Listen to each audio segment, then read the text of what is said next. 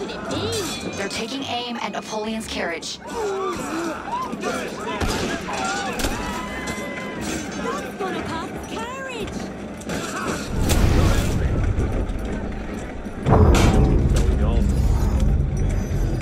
Must be somebody important.